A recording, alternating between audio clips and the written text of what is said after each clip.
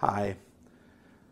Usually, when I do these, I try to make them a little funny, kick them up some, but today I actually want to talk about something really important.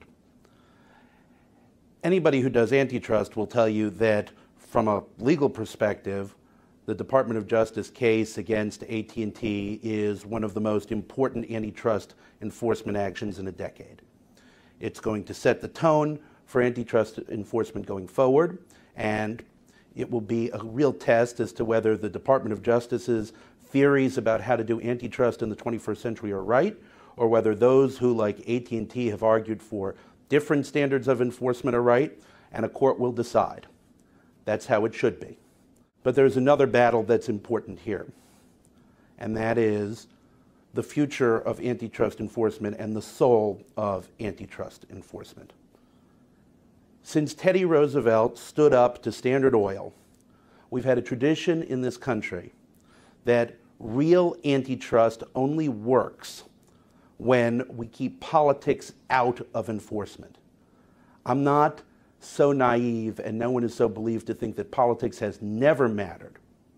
But the fact is that we have had a very proud and strong tradition in this country from the breakup of Standard Oil to the breakup of AT&T in 1984 in keeping enforcement apolitical. That's how it is. That's how it should be. The political branch sets the priorities. But when the Department of Justice says no, as the White House said yesterday, this is an enforcement matter. It's not a matter for the White House or the political branch. That's essential for the rule of law. That's essential for the respect for law. It's essential so that everyone in this country can believe the promise of this country that we are all treated fairly under the law. AT&T has the right to make its legal case in court.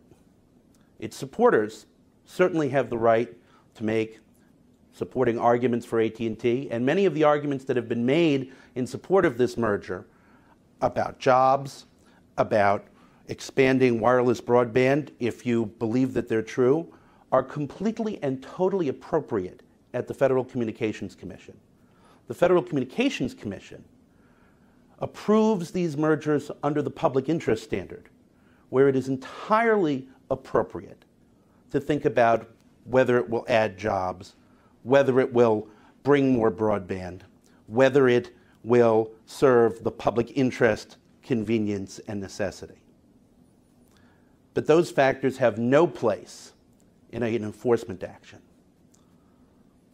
The Department of Justice determined, after long and detailed consideration, that AT&T's proposed takeover of T-Mobile violated the antitrust laws. They did what was appropriate. As soon as they made that determination, they did not hesitate. They went to a court, and AT&T will have its day in court.